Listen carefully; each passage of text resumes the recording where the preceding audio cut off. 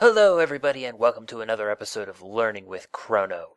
Today will be the start of a series covering the Buildcraft Power Unit, the Minecraft Joule, or more specifically, how to produce the Minecraft Joule.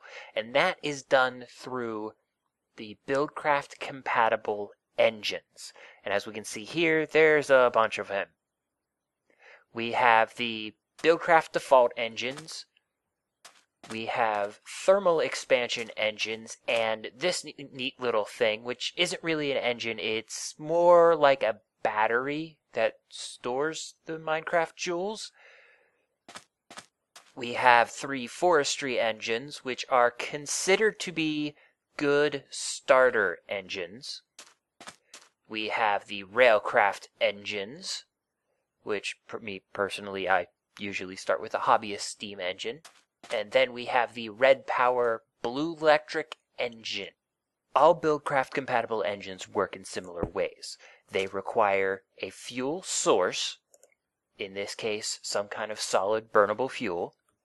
They require a redstone signal to tell them when to activate, and they require something to output the power into, either a Buildcraft compatible device directly or into wooden pipes. Now, there are three different wooden pipes. The conductive wooden pipe is designed to transport the power that's outputted from the engine somewhere else. This combined with the other conductive pipes, the cobblestone, the stone, the gold conductive pipes, can take m- many Buildcraft engines and funnel all of their power into one thing. There is the regular wooden pipe, which is designed to transport items from one place to another. And then there is the wooden waterproof pipe, which is designed to conduct liquids, uh, lava, fuel, oil, water, that kind of thing, from one place to another somewhat like the items, except in liquid form. Now, all these engines can be rotated using the wrench. This is the Buildcraft wrench, or you can use the Railcraft wrench. They are both compatible, except for one engine, and that is the Blue Electric engine. It requires a screwdriver to turn. And all you have to do is just right click on the engine and it will actually flip between the different types of put, or outputs that it can go through. So for this engine right now, all we have to do is put fuel in the engine and then give it a redstone signal and it starts pumping. Now, all engines have a drawback. They have the potential to overheat, causing them to either shut down or explode. Again, the exception seems to be the red power blue electric engine. So if an engine is not outputting enough power, is not outputting as much power as it generates, it can potentially overheat and either shut down in the case of some engines or explode in the case of others. For example, if I get rid of all of these pipes, we can see that it stops pumping, but we can also see that it's still burning fuel.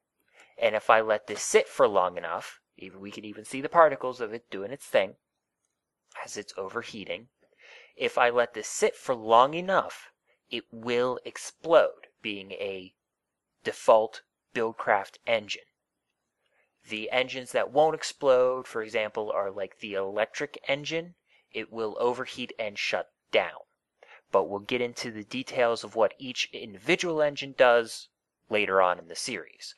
For now, let's see if this engine truly does explode.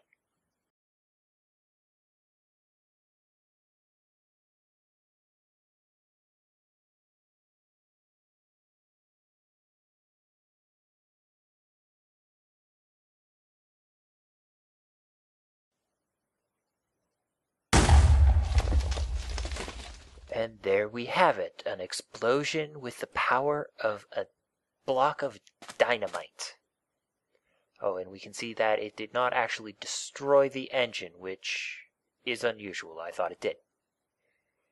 We could definitely see why we wouldn't want this to happen. We wouldn't want our engines exploding, destroying our machines. Now, note just because the engine is pumping does not mean that it's safe. It can explode even if you are outputting power.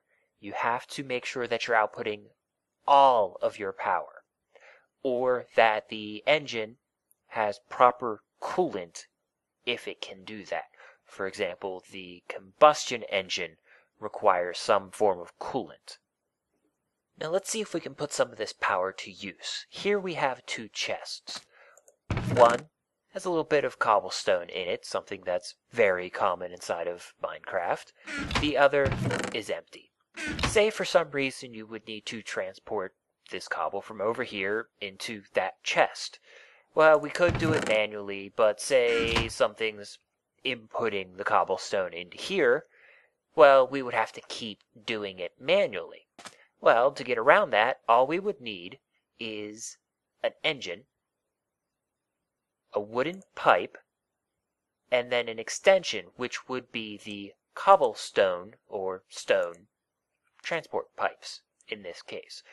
Uh, this can also be done with liquids with their respective waterproof piping. So we just have to put down our engine, and we can see that it automatically moves to connect, which is exactly what we want. We put down our redstone signal. We give this little bit of power, and then we turn it on.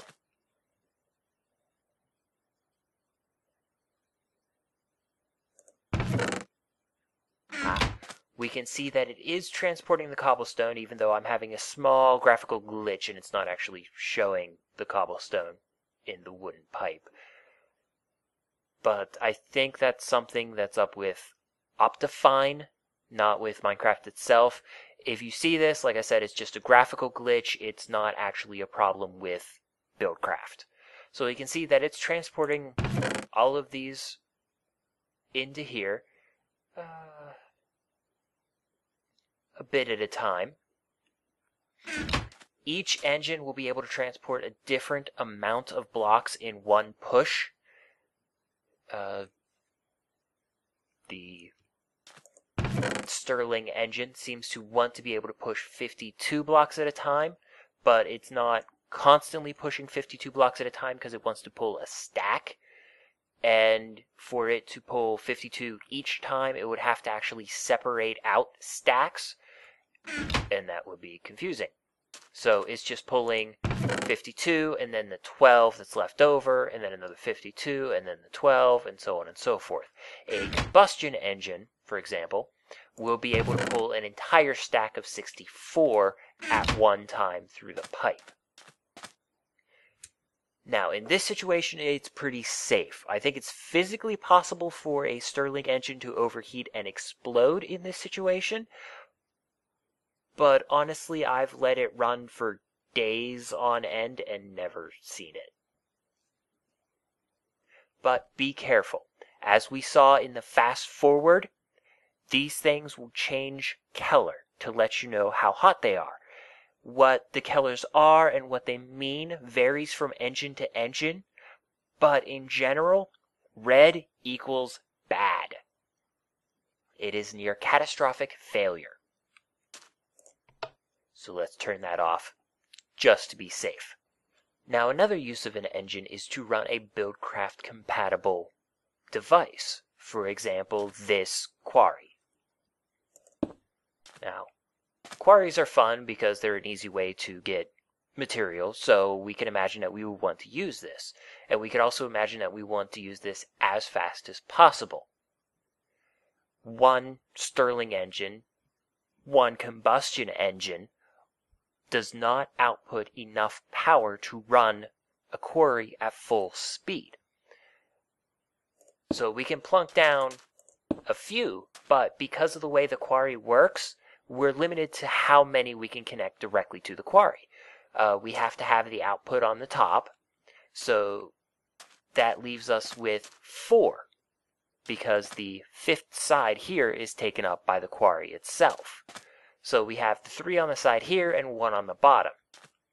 Now, this will work. We can run this quarry like this. It'll work, it'll work fine. But if we want to make it faster, we can put in the conductive pipes. Now, conductive pipes might be a little confusing. One would think that we would take the wooden conductive pipe and attach it to the quarry directly, but that's not the case. Remember, a wooden pipe is designed to pull things from its source. In this case, when we're transporting power, the source is the engine itself. So the conductive pipes will actually go where we're placing the engines. So for example, if I want five engines, I would just set it up like this. Now we see something that's interesting, something else that these engines can do. They can power themselves. So like this engine is taking all its power and transforming transporting it to this engine. And this engine is transporting it to this engine and this engine up to this engine and then all that power is going to wherever this engine is outputting. Now, this is a real quick way to make things explode because it's very hard for the end engine to actually output all that power. In fact, I don't think it's physically possible. It is, however, a good way to get the engine up to speed because the hotter an engine runs, the more efficient it is. But of course, the more efficient it is, the closer it is to catastrophic failure. So one has to balance your risks. To change this in these situations, you just, again, use your wrench until it's pointing at the wooden pipes like we want. And then we use our stone or cobblestone or gold conductive pipes and connect all our pipes together and into our quarry. Now, all of these engines will be outputting power through these pipes and into the quarry. So what I can do is set both of these up so that I'll flip one lever, turn all of them on at once, and then we can see the difference side by side. So now we have this simple test set up with three engines on this quarry, five engines on this quarry, they're both the same exact size. They both have the same number of repeaters between the redstone signal and the engines themselves. Yes, there are more repeaters on this side, but because of how redstone signal works, it doesn't matter. They will all turn on at the exact same time. So if I flip this switch, we can start to see our tests. And we can already see that this side is significantly faster than the other side. And we only have two engines different here. So I hope this little video has given you a useful insight into the basics of Buildcraft Power. In the next video, I will be going into depth about each of the, one of these engines, explaining how to make them work, how much power they output, and really what they're good for. So stay tuned, and as always, I will say keep playing the game and have fun.